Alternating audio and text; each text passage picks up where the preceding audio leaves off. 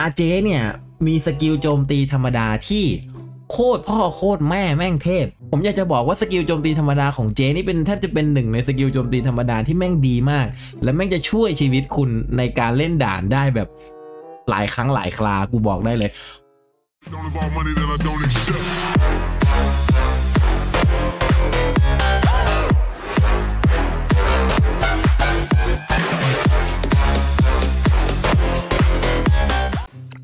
ของผมเป็นราวิยาเลเวล30 rank 6นะครับ ก็อ่า rank หนึ่ง for each ally ในระยะ 2 ช่อง character attack increase 5% up to 15%อันนี้ผมอยากจะบอกว่าเป็นสกิลที่เหมาะกับสายฟรีมากมากเลยแหละ เอาความสามารถมันก่อน ความสามารถคือถ้าอยู่ใกล้ไอ้ถ้ามีเพื่อนๆ อยู่ใกล้ในระยะ 2 ช่องนะครับ จะเพิ่ม attack 5%แล้วก็สูงสุดก็คือมีเพื่อน 3 ตัวอยู่ในระยะ 2 ช่อง คือยืนกันเป็นกลุ่ม 3 ตัวในระยะ 2 ช่อง เพิ่ม attack ได้ 15%ถามว่าทำไมผมถึงบอกว่ามันเป็นขวัญใจของสายฟรี เดี๋ยวผมจะพาไปดูตัวละครสายฟรีตัวอื่น ตัวแรกก็คือไมท่าที่เกิดมาคู่กัน ไมท่าเนี่ยจะมีอยู่อันหนึ่งคือแรงหนึ่งสกิลขวา for each ally ก็คือพันธมิตรในระยะ 2 ช่องของตัวละคร แต่ละตัวนะครับ จะบัฟดีเฟน s ์ให้ 10%สูงสุดคือ 40%ก็คือ 4 ตัว หมายความว่าตอนนี้เนี่ยเรามี 2 ตัวแหละ 1. ราวิยาเพื่อน 3 ตัวได้ Attack 15% 2. ไมท่าเพื่อน 4 ตัวได้ Defense 40%นะ แล้วก็ยังจะมีอีกครับ ก็คือ สำหรับสายฟรีนะคริมสันฟอลคอน อันนี้คือสายฟรีก็ 5 ดาว ถูกปะเขาแจกจน 5 ดาวใช่ไหมไอตัวเนี้ยถ้าผมจำไม่ผิดคริมสันฟอลคอนก็มีเหมือนกันครับ เป็นพาสซีฟของแรงหนึ่งซ้ายนะครับ เขาบอกว่าเมื่อเริ่มเทินนะ ถ้ามีพักพวก 2 คนขึ้นไปอยู่ใกล้กันในระยะ 2 ช่องนะครับ จะได้รับbuff increase damage 20% 1 turn แล้วก็เมื่อถูกโจมตีด้วย active attack ถ้ามีสมาชิกเพื่อนเรา 2 ตัวขึ้นไปในระยะ 2 ช่องเช่นกัน จะลด damage ที่ได้รับ 20%นี่คือตัวที่ 3 ที่มันจะต้องอยู่กันเป็นกลุ่มอะไรประมาณนี้นะครับ ตัวที่ 3 แล้ว แล้วก็จริง ๆ มีอีกมีอีกหลายตัว ที่อยู่กันเป็นกลุ่มแล้วมันเก่ง มีชื่อไหนที่เพื่อนๆจำได้บ้างไหนลองพูดพูดมาให้ผมฟังหน่อย อย่างโคเนี่ยมันเป็นตัวที่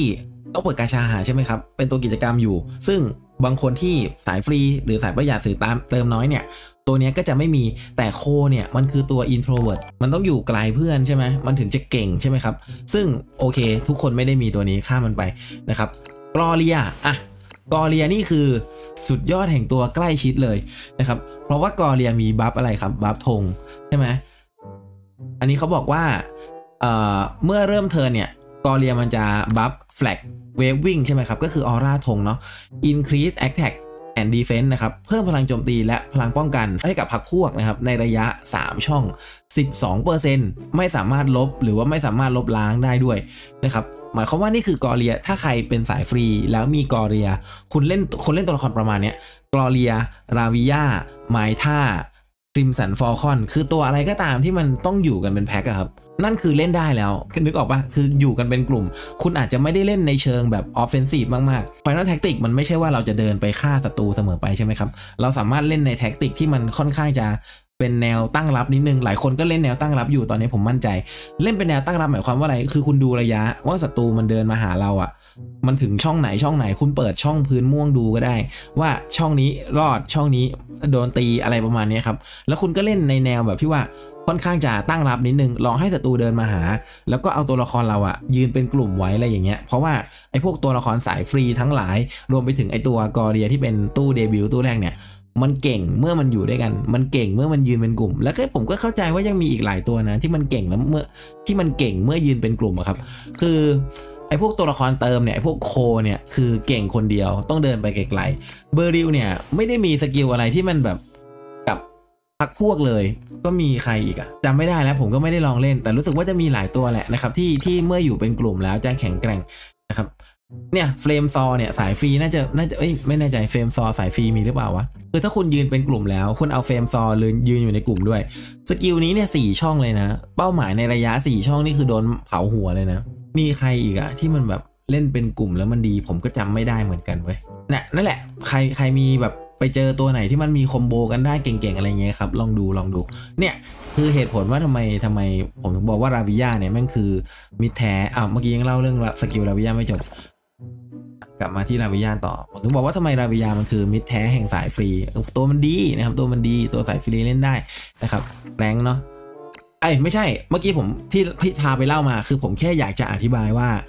ไอ้สกิลราวิยาแรงหนึ่งสายเนี่ยมันคือ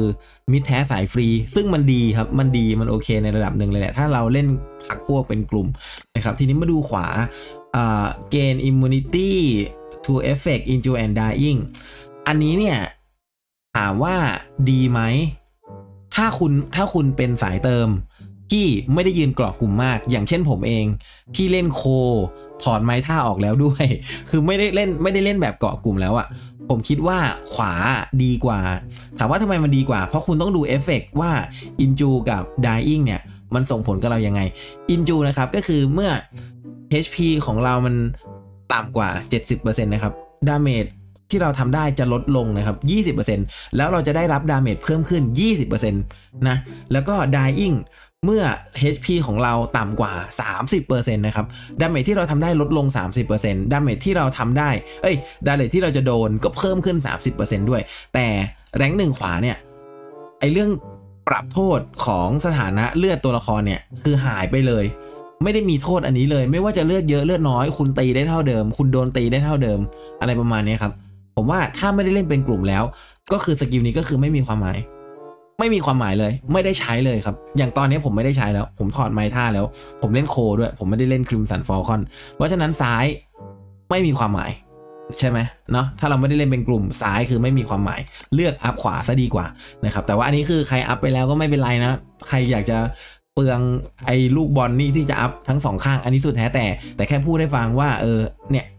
ใครที่เป็นสายฟรีอะผมมาแนะนำซ้าย ใครที่แบบว่าเล่นตัวที่แม่งแบบ one man show ได้แล้วยืนห่างกันแล้วอะแนะนำขวานะครับจะได้ไม่ต้องโดนปรับโทษของอค่า HP อะไรต่างๆนะครับอะส่วนทีนี้ rank สามนะครับอันดับแรก ผมอัพเจาะเกราะเนี่ยสกิลเนี่ย piercing bash เพราะผมคิดว่ามันแรง แต่เอาเข้าจริงไม่ได้ใช้ ไม่ได้ใช้จริง ๆนะครับ ไอถามว่าสกิลนี้มันคืออะไร มันเป็นสกิลโจมตีเป้าเดี่ยว 130 damage attack นะครับ แล้วก็ก่อนที่จะโจมตีเนี่ย จะได้รับ armor piercing คือตีเจาะเกราะ 40% defense ตอนแรกผมอ่านผมใจฟูมาก ว่านี่แม่งคือสกิล damage เป้าเดี่ยวที่โคตรแรงแน่นอน แต่พอใช้งานจริง อันดับแรกสูงต่ำไม่ได้ คือสูงต่ำได้แค่ 2 ช่อง มึงยืนสูงหน่อยยืนต่ำหน่อยฟาดไม่ได้แล้วนะครับ อันดับ 2 เรามีสกิลโจมตีที่ดีมากๆติดตัวอยู่แล้ว นะครับ และอันดับที่3สกิลสล็อตจะไม่พอสกิลสล็อตไม่พอคืออะไรเอาไปดู อะ นี่คือที่สกิลสล็อตของราวิยาของผมปัจจุบันนี้นะครับ สล็อตที่ 1 Basic Attack ไม่มีอะไร อันนี้ล็อกให้เป็น Basic Attack อยู่แล้วนะครับ สกิลที่ 2 อันนี้สำหรับ Reaction ซึ่งเมื่อกี้ยังพูดไม่ถึงใช่ไหม อันนี้มันจะปลด rank 5นะครับ สกิลถีบยันโครมจะปลดตอน rank 5นะครับ ก็ Reaction นี่ก็คือ จะเลือกได้อันเดียว คือถ้าคุณอัพแบบเผื่อสมมุติว่า rank บนๆไป มี Reaction มาอีก คุณก็จะเลือก Reaction ได้อันเดียว คุณก็จะเลือกเอาสิว่าจะเอาสกิลถีบหรือว่าสกิลอื่น บางตัวมี Reaction หลายอัน กลายเป็นว่าผมมาอัพผิดไปอัพ Reaction มาทุกอัน เพราะคิดว่ามันจะส่งผล ซึ่งมันไม่ส่งผล ไอ้เหี้ยเราต้องเลือกใช้อันเดียวไว้เพื่อน นั่นแหละครับอันนี้คือเหตุผลที่บอกว่าทำไมสกิลสล็อตถึงจะไม่พอนะครับ ต่อมาช่องที่ 3 ช่องที่ 4 ช่องที่5นะครับ อันนี้เป็นช่องของการ เลือกและเพื่อนๆสังเกตว่าช่อง 3 ช่อง 4 ช่อง 5 เนี่ย มันเป็นสกิลประเภทเดียวกัน คือสกิลประเภท Active Skill สกิลโจมตี หรือว่า Passive Skill มันจะอยู่ในช่อง 2 เอ้ย มันจะอยู่ในช่อง 3 4 5 แล้วทีนี้มาดูสกิลแรก ที่เราจะต้องใช้นะครับ แน่นอนยกแก้ว Instant Recover 60% HP ที่เสียไปนะครับ แล้วก็ได้ buff Tipsy buff Tipsy คืออะไร คือเพิ่มคริ30%แล้วก็ลดความเสียหายที่ได้รับ 10%ครับ2 turn ครับ buff Tipsy นี่คือ buff หากินของราวิยาก็ว่าได้ เพราะว่ามันเป็น Instant คำว่าเป็น Instant คืออะไร คือคุณสามารถร่ายได้เลย ก่อนเดินก็ได้ หรือว่าก่อนโจมตีก็ได้ มันจะใช้ตอนนั้นทันทีนะครับ และคือดีมาก เพิ่มคริ30%แล้วก็ลด damage ที่ได้รับ 10%นะครับ นอกจากนั้นยังไม่พอ Tipsy เนี่ย มันยัง combo กับสกิลถีบเพื่อนๆสังเกตตรงนี้นะครับ ไอ้สกิลถีบนี้ก็คือเวลาโดนโจมตีมาที่เอ่อที่ตัวละครราวิยาเนาะ มันจะ strike back หรือก็คือไอ้ที่มันยกแก้วแล้วมันก็ถีบนั่นแหละ สร้างความเสียหาย 70% physical damage นะครับ แต่เมื่ออยู่ในสถานะ Tipsy นะครับ จะน็อกศัตรูถอย 2 ช่องด้วย หมายความว่าถ้าคุณจะเล่นสกิล reaction ถีบยังไงคุณก็ต้องอัพยกแก้ว ยังไงก็ต้องอัพแก้วครับพลาดไม่ได้แน่นอน ยังไงต้องมีเพราะมันใช้คู่กันนะครับ แล้วก็ต่อมานะครับ อันนี้ช่องที่ 3 นะ ให้จำไว้ว่าเป็นแก้ว ต่อมาช่องที่4เกลบริชนี่คือสกิลที่ผมบอกว่ามันดีอยู่แล้วไอ้สกิลนี้ก็คือไอ้สกิลสองจังหวะนั่นแหละไอ้สกิลสองจังหวะนั่นแหละที่มันจะพุ่งไปข้างหน้าใช่ไหมครับ พุ่งไปข้างหน้า 1 ในระยะ 3 ช่อง ซึ่งไกลสกิลนี้เนี่ยได้มาตั้งแต่แรกทุกคนได้ราวิยามาจะมีสกิลนี้ติดตัวมาอยู่แล้วเนาะเป็นสกิลที่พุ่งไปข้างหน้าในระยะ 3 ช่องเอ่อสกิลนี้เนี่ยพอฟันครั้งที่ 1 ครั้งที่ 2 มันจะเปลี่ยนเป็นการฟาดดาบ ซึ่งไอ้สกิลฟาดดาบคือแรง ผมสามารถบอกได้เลยถ้าคุณยกแก้ว แล้วคุณฟาดดาบคริทีคือไส้แตกเอ่อวิธีการเล่นวิธีการเล่นราวิยาจะมีประมาณนี้นะครับ คือคุณ buff คริด้วยการยกแก้ว แล้วก็ถ้าเดินถึงก็คืองัดแล้วก็ฟาด ถ้าเดินไม่ถึงก็คือ dash เข้าไปได้ในระยะ 3 ช่อง แล้วก็ฟาดนะครับคริไส้แตกนะครับ อันนี้คือวิธีการเล่นราวิยานะครับ ต่อมาช่องสุดท้าย นี่คือช่องที่ผมบอกว่าผมอัพมาแล้วมันเสียเปล่า มันเสียเปล่ามาก เพราะว่าผมไม่ได้เล่นเป็นกรุ๊ปแล้ว ผมไม่ได้เล่นไมท่าผมไม่ได้เล่น Crimson Falcon ผมไม่ได้เล่นไอตัวอะไรที่มันต้องอยู่กันเป็นกลุ่ม และนี่คือแบบ ผมเสียสล็อตไปหนึ่งสล็อตจริง ๆ ถ้าจะเอาให้เก่งสำหรับตัวละครผมตอนนี้นะครับถ้าจะเอาให้เก่งสำหรับตัวละครผมตอนนี้นะคือผมต้องต้องอัพไอ้คู่นี้เลยนี่ผมต้องขึ้นนี่เลยครับ ผมต้องมานี่เนี่ยผมต้องยอมเสียเม็ดฟ้าเม็ดนึงเนี่ยดีกว่า เพราะว่าอะไร เพราะว่าอันเนี้ยไม่ได้ใช้แล้ว เราแม่งวันแมนโชว์แล้ว เนี่ยครับ ผมก็ควรเลือกกำหมัดดีกว่านะครับ ต่อมายังไม่หมดแค่นั้นนะครับ ความดีงามของ อาเจเนี่ยอาเจเนี่ยมีสกิลโจมตีธรรมดาที่โคตรพ่อโคตรแม่แม่งเทพ ผมอยากจะบอกว่าสกิลโจมตีธรรมดาของเจนี่เป็นแทบจะเป็นหนึ่งในสกิลโจมตีธรรมดาที่แม่งดีมาก และแม่งจะช่วยชีวิตคุณในการเล่นด่านได้แบบหลายครั้งหลายครากูบอกได้เลย เพราะว่ามันคือการตีธรรมดาแล้วมัน knockback สองช่อง ในการลงหอคอย ในการเล่น dungeon ในการลุยด่านในการอะไรก็แล้วแต่จะมีหลาย ๆ สถานการณ์ที่คุณอยากจะ knockback ศัตรูให้มันตกตกเหวตายห่าไปเพราะกูสู้มันไม่ไหวใช่ปะแล้วสกิลธรรมดาของเจคือ knockback ได้สองช่อง ความดีงามของสกิลตีธรรมดา knockback สองช่องเนี่ยมันไม่ใช่แค่ตีธรรมดาแล้วมัน knockback สองช่อง มันใช้ต่อจากสกิลนี้ได้ไอ้ที่ไอ้สกิลที่พุ่งสามช่องอะหมายความว่าต่อให้บางด่านคุณอาจจะเดินไม่ถึง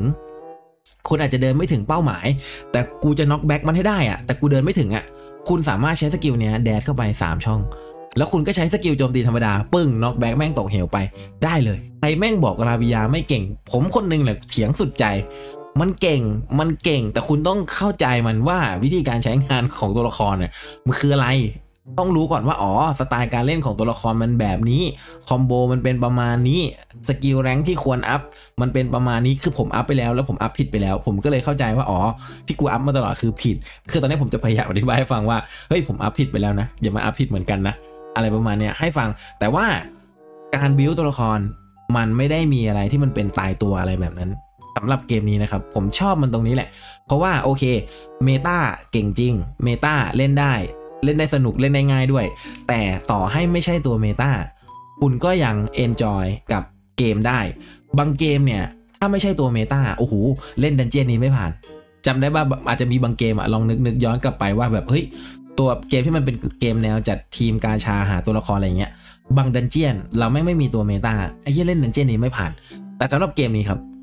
ไอ้ตัว meta มันมีแล้วมันดีก็จริง มันดีแล้วมันง่ายใช่ง่ายเลยแหละ แต่ต่อให้คุณไม่มีตัว metaคุณก็ยังใช้เทคนิคการคอมโบตัวละครอื่น หรือว่าอะไรต่างๆ เนี่ยทำให้สามารถเล่นเกมนี้ได้ ยัง enjoy กับเกมนี้ได้ ต่อให้ไม่มีตัว meta ก็ตามนะครับ ลองดูลองดูแบบอาจจะมีหลาย ๆ ตัวที่แบบ เอ่อมันมีความเก่งกาจอะไรซ่อนอยู่อะไรอย่างเงี้ยครับลองไปทำความเข้าใจตัวละครว่าอ๋อจริงๆแล้วเอ้ยสไตล์การเล่นมันน่าจะประมาณนั้นประมาณนี้นะอะไรอย่างเงี้ยนะครับ ลองดู「